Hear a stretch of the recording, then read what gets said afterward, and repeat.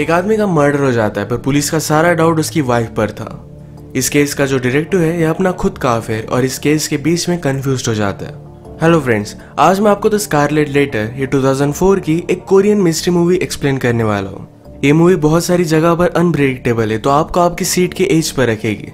तो अंत तक इस वीडियो को ज़रूर देखिएगा। अगर आपको वीडियो अच्छा लगता है तो प्लीज़ इसे लाइक और कमेंट ज़रूर कर दीजिए। तो बिना किसी देरी के एक्सप्लेनेशन डायरेक्टली स्टार्ट करते हैं। मूवी स्टार्ट होती है और हम हमारे मेन कैरेक्टर किहून को देखते हैं। किहून एक पुलिस ऑफिसर था और आज एक मर्डर हुआ है। इसी क्राइम सीन पर वो पहुँचता है। क्राइम सीन पर एक आदमी का मर्डर हुआ है। हर जगह पर बहुत सारा ब्लड पड़ा था। किहून अपने फ्रेंड से कहता है कि यही आसपास मर्डर वेपन पड़ा होगा, क्योंकि generally murder weapon crime scene से नहीं जाता। इस क्राइम को रिपोर्ट करने वाली इस डेड बॉडी की वाइफ थी। इसका नाम है यंग ही यंग ही को क्वेश्चन पूछने के लिए फिर पुलिस स्टेशन ले जाया जाता है। किहून डायरेक्टली उसे पूछता है कि तुमने अपने हस्बैंड को क्यों मारा? वो कहती कि मैंने ऐसा कुछ भी नहीं किया। मैं कुछ ग्रोसरीज लेने के लिए बाहर गई थी और वापस आई तो डायरेक्टली उसका मर्डर हो चुका था। क्यून उसे पूछता है, क्या तुम उस पर चीट कर रही थी? यंगी कहती कि अगर तुम्हें मुझ पर बिलीव नहीं होता तो एक शू शॉप पर जाकर तुम चेक कर सकते हो। वहाँ पर मैंने शूज़ पहने थे और पे करना ही भूल गई। और भी क्वेश्चन पूछने से पहले किहू ने उसे कॉफ़ी के लिए पूछा। वो जब बनाने के लिए गया और वापस आया, तब तक यंगी सो चुकी थी। इसके बाद मूवी में हम हमारी और एक मेन कैरेक्टर को देखते हैं। इसका नाम है गाही। किहुन रात में गाही से मिलने के लिए उसके बार में आया हुआ था। इसके बाद दोनों इंटीमेट हो जाते हैं। अगली सुबह हमें किहुन का घर दिखाया जाता है और इसकी वाइफ अलग है। इसका मतलब है गाही के साथ उसका अफेयर चल रहा था। आज उसकी और उसकी वाइफ की डॉक्टर के साथ अपॉइंटमेंट थी, क्योंकि उसकी वाइफ प्रेग्नेंट भी है। जिस तरीके से अपनी वाइफ से वो बात करता है, इससे हमें पता चलता है कि उनकी मैरिज में कोई भी प्रॉब्लम नहीं थी। नेक्स्ट सीन में सारे पुलिस ऑफिसर यंग ही के हस्बैंड के मर्डर के बारे में बात कर रहे थे। एक ने कहा कि यंग ने बहुत सारे अबॉर्शन करवाए हुए थे, जो उसके हस्बैंड को पता नहीं था। शायद उसका कोई अफेयर होगा। हमें इसके बारे में और भी जानना चाहिए। किहुन कहता है, उस पर नज़र रखने के लिए हम कुछ लोगों को लगा देते हैं। किहुन को गन का बहुत ही शौक था। इसे डिसमेंटल कर कर फिर से असेंबल वो सिर्फ़ ट्वेंटी सेकंड में कर लेता था। उसके फ्रेंड ने उसे कहा, हम कभी भी इस गन का यूज़ नहीं करते। तुम ये सब चीज़ें क्यों करते हो? क्यून कहता है मुझे गन पसंद है? सिर्फ़ इसी वजह से मैंने फोर्सेस ज्वाइन की थी। नेक्स्ट दिन में हम देखते हैं कि यंगी से एक बहुत ही सस्पिशियस आदमी एक कैफ़े में मिलता है। यंगी ने उसे कुछ पैसे भी दे दिए। पुलिस यंगी पर नज़र ही रख रहे थे तो सारी बात उन्हें पता चल गई। नेक्स्ट सीन में किहून अपनी वाइफ के साथ डॉक्टर के पास आया हुआ था। नर्स उन्हें सब कुछ रिपोर्ट्स वगैरह दिखाती है बोलने बोलने में बोल गए कि फिर से अबॉर्शन करना सही नहीं होगा। आप अपने बच्चे का अच्छे से ख्याल रखिएगा। इसका मतलब किहून की वाइफ ने ऑलरेडी एक अबॉर्शन किया हुआ था। किहून को इसके बारे में कुछ भी पता नहीं है। ये सुनकर उसे बहुत ही बुरा लगा, पर इस बात को पूरी तरीके से इग्नोर कर देता है। जिस आदमी को यंगी ने पैसे दिए थे, इसे जाकर पुलिस पकड़ लेते हैं। उससे पुलिस ने बहुत सारे क्वेश्चन पूछे, पर वो कुछ भी नहीं बताता। किहून ने तो उसे मारा भी था, फिर भी वो कुछ भी नहीं बताता। रात में हम देखते हैं कि किहून का जिसके साथ अफेयर है, की ही इसे अचानक से पेट में दर्द होने लगता है। उसने प्रेगनेंसी की टेस्ट ली तो प्रेग्नेंट थी। यंगी के हस्बैंड के ऑटोप्सी की रिपोर्ट आ चुके थे तो किहून यंगी से मिलने के लिए उसके पास गया। यंगी का एक फ़ोटो स्टूडियो है। उसे कहती है, अगर आप लोगों का एल्बम देखे तो उससे बहुत सारी चीज़ें इमेजिन कर सकते हो, जैसे कि ये फैमिली यहाँ पर मुझे लगता है कि इनका बेटा मिलिट्री में होगा। जब वो वापस आया तो सारी फैमिली ने वैकेशन ली है। उसके साथ उसकी गर्लफ्रेंड भी है, जो आज बहुत ही ऑकवर्ड है। यंगी अपने हस्बैंड में कोई भी इंटरेस्ट नहीं दिखा रही थी। तो क्यों उस पर चिड़ जाता है? कहता है कि क्या तुम्हें कुछ भी फ़र्क नहीं पड़ता। तुम्हारे हस्बैंड की डेथ हार्ट अटैक की वजह से हुई थी। हार्ट अटैक आया, उसकी आर्टरी बर्स्ट हो गई। इसी वजह से सारा ब्लड पड़ा था। यंगी कहती है मैरिज में बहुत सारी प्रॉब्लम्स होती है, पर हम इसे ओवरलुक कर देते हैं। क्या कभी तुमने अपनी वाइफ को हेट किया है? मैं भी अपने हस्बैंड को बहुत ही हेट करती थी। पाँच साल हो गए, पर फिर भी मेरी फीलिंग्स बदली नहीं। रात में किहुन घर पर आया। वो अपनी वाइफ के लिए अच्छा सा कुक करता है। कीहुन की वाइफ सीहुन उसे अबॉर्शन के बारे में बताना चाहती थी, पर कीहुन इस बात को पूरी तरीके से इग्नोर कर देता है। उसे घर पर घी का कॉल आया, उसे मिलना चाहती थी, पर कीहुन ने उसे पूरी तरीके से इग्नोर कर दिया। यंगी का अफेयर है या नहीं, इसके बारे में पुलिस बहुत सारी इन्फॉर्मेशन निकाल रहे थे तो यंगी ने डायरेक्टली किहून को अपने अफेयर के बारे में बता दिया। वो गई थी कि एक आदमी मेरे स्टूडियो में आया हुआ था। उसने मेरी फ़ोटो ली, वो मुझसे फ्लर्ट करता था। उसने एक फ़ोटो शूट किया जिसमें उसने सिर्फ़ अपने पैरों की फ़ोटो ली। इसके बाद उसके हाथ, उसका चेस्ट इस तरीके से वो फ़ोटो शूट करता था। हर वीक वहाँ आया करता था। वो एडमिट करती है कि स्टूडियो में उसे बहुत ही अकेला महसूस होता था। तो जब वो आता तो उसे बहुत अच्छा लगता। उसकी कंपनी के लिए वो थैंकफुल थी।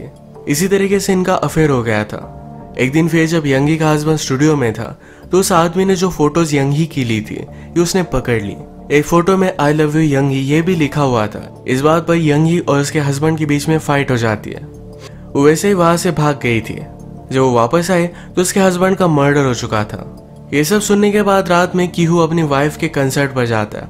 उसकी वाइफ अच्छा सा वायलिन बजाती है। कंसर्ट के बाद एक पार्टी थी और इस पार्टी में गी भी आई। गी आकर डायरेक्टली सुhyun से बात करती है। इससे हमें पता चलता है कि दोनों कॉलेज की फ्रेंड्स हैं। किहुन भी गिही को यहाँ देखकर सरप्राइज़ था। पार्टी में गिही ने किहुन को कॉल लगाया। उसने कहा कि कोई खोई हुई चीज़ अगर तुम फिर से पा लो तो जिस तरीके से खुशी होती है, क्या मुझे देखकर भी तुम्हें उसी तरीके से खुशी हुई? बात करते करते उसके पास आए। उसने कहा, क्या तुम्हें याद है, हम फ़र्स्ट टाइम कहाँ इंटीमेट हुए थे?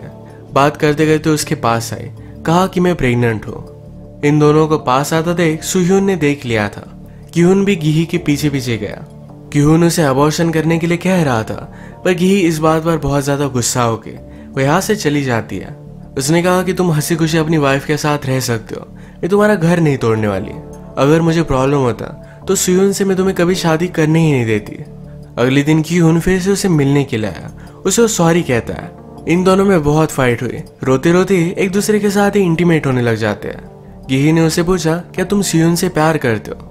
कियून ने कहा कि मैं उससे प्यार करता हूँ और वो भी मुझसे बहुत प्यार करती है। कियून अपने सफ़ाई में कहता है, मैं सुह्यून के लिए तुम्हारे पास आता हूँ। तुम्हारे साथ होने के बाद मैं अपनी मैरिड लाइफ में खुश रह सकता हूँ। गिही हमेशा किहून को अपने पास चाहती थी, उसका दिल चाहती थी। वो आज रात उसे उसके साथ रुकने के लिए कहती है, पर किहून रुक नहीं पाता।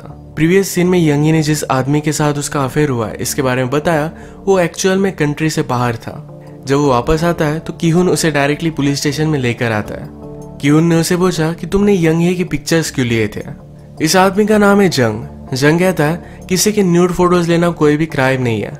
पर यंगे ने न्यूड पिक्चर्स के बारे में कुछ भी बताया नहीं था। इस बात में क्यून इंटरेस्टेड हो गया? वो कहता है कि अफेयर कैसे हुआ? इसके बारे में मुझे सब कुछ बताओ। जंग ने कहा कि मैं फोटोशूट करने के लिए हमेशा स्टूडियो में जाया करता था। यंगी को मैं पसंद था तो हमेशा मुझसे वो फ्लर्ट करती थी। मुझे भी अच्छा लगने लग गया था। एक रात उसने मुझे बुलाया, उसने कहा कि मेरा हस्बैंड आज घर पर नहीं है तो उसका न्यूड फोटोशूट उसे करना था। मैंने उसका फोटोशूट तो किया, पर हमारे बीच में कुछ भी हुआ नहीं था। इसके बाद रात में गाही किहुन को अपने अपार्टमेंट में कॉल कर दिया। किहुन की जगह पर सुहुन वहाँ पर पहुँच गई थी। वो गिही को कन्फ्रंट कर दिया ये सब उनकी बातचीत चल रही थी, तभी सिहुन बाहर आ गया। किहुन, गाही और सुयुन ये सारे एक दूसरे के सामने आ गए थे। सुयुन ने किहुन से कहा कि अब मुझे डिवोर्स चाहिए। नेक्स्ट दिन में हम देखते हैं कि किहुन फिर से केस की इन्वेस्टिगेशन कर रहा था। यंग ने जिस आदमी को पैसे दिए थे, उस आदमी के घर में वो घुस गया। यहाँ पर उस आदमी की गर्लफ्रेंड के साथ वो फ़ोटो देखता है। वो आदमी फरार था तो किहुन ने उसकी गर्लफ्रेंड से बात की। गर्लफ्रेंड ने कहा कि यंगी के हस्बैंड ने मुझे बाय करने का ऑफ़र दिया था।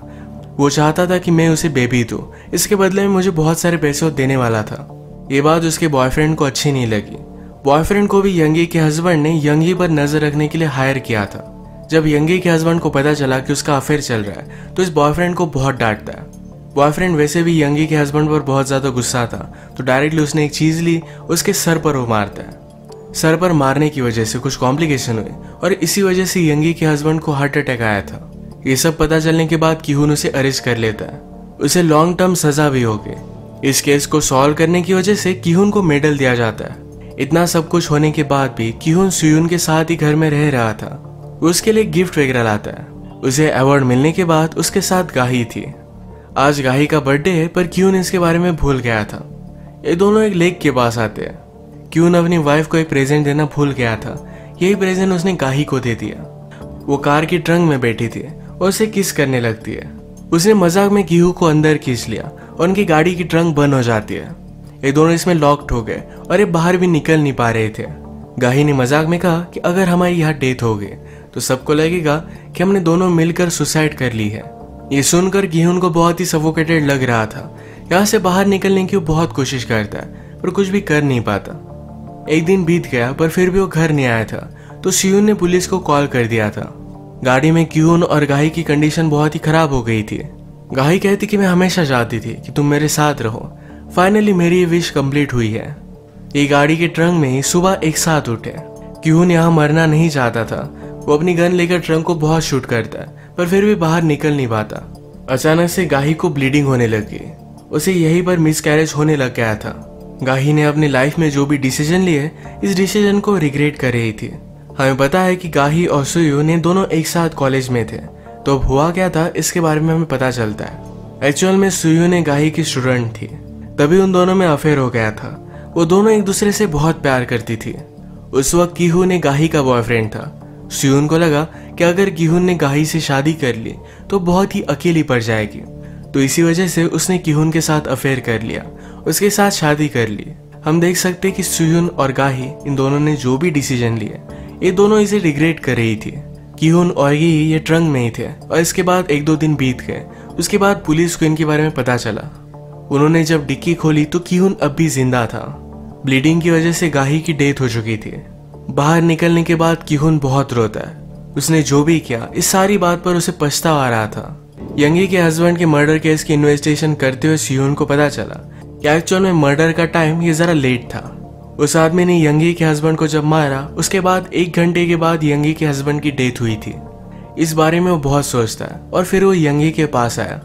यंगी भी इस बात को एडमिट करती है कि जब वो ग्रोसरी स्टोर से वापस आए तो उसका हस्बैंड ज़िंदा था। अगर उसे हॉस्पिटल लेकर जाती तो जी सकता था, पर यंगी ने उसे मार डाला। किहुन ने जिस आदमी को जेल में डाला है वो ऑलरेडी जेल में जाकर आया था। तो किहुन को लगता है कि फिर से जेल में रहना उसके लिए ज़्यादा कुछ हार्ड नहीं होगा। वो यंगी के बारे में किसी को कुछ भी नहीं बताएगा। किहुन ने भी पुलिस का जॉब अब छोड़ दिया था। यंगी का जंग के साथ अफेयर था। जंग ने यंगी के लिए एक फ़ोटो में आई लव यू लिखा था। ये फ़ोटो किहुन फिर से यंगी को देता है। कहता है कि वो अब भी तुमसे प्यार करता है।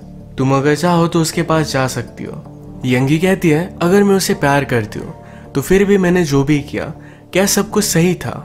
क्या सारे मेरे क्राइम्स माफ़ हो गए? कि उनने खुद प्यार में बहुत सारी गलत चीज़ें की तो इसका वो आंसर नहीं दे पाता। उसके गलत डिसीज़न की वजह से वो पूरी तरीके से अकेला पड़ चुका था। वो रात में घर आकर बहुत रोता है और इसी के साथ ही मूवी एंड हो जाती है। ये मूवी एक पॉइंट प्रेजेंट करती है कि प्यार में लोग गलत चीज़ें कर सकते हैं। पर फिर भी उन्हें उसे भुगतना पड़ता है। फाइनली क्यून अकेला पड़ चुका था। यंगी अपने हस्बैंड के मर्डर के गिल्ड में जी रही है। इस गिल्ड में जीना भी एक सजा से कम नहीं था।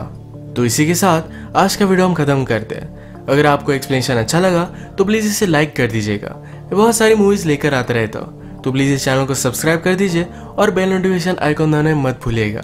हम फिर से मिलेंगे और एक नई मूवी के साथ। तब तक के लिए थैंक यू और आप अपने आप का ख्याल रखिए।